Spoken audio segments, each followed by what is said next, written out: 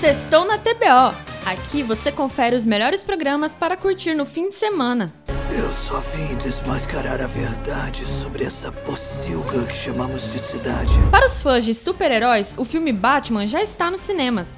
Interpretado pelo ator Robert Pattinson, o Homem-Morcego inicia uma investigação e se envolve em uma trilha de charadas enigmáticas. Ao descobrir um rastro de corrupção que chega até o nome da própria família, Bruce Wayne precisa fazer justiça em Gotham City.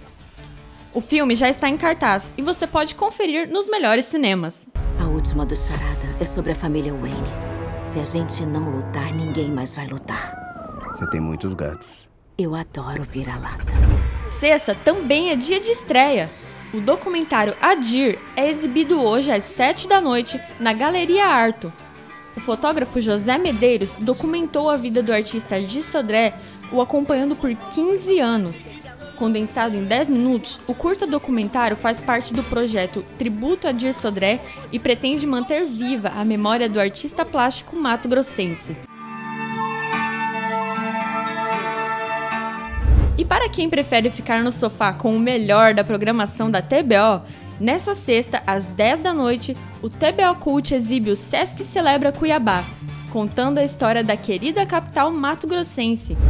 Outras sugestões para curtir o próximo fim de semana você encontra toda sexta aqui na TBO, a TV que você se vê.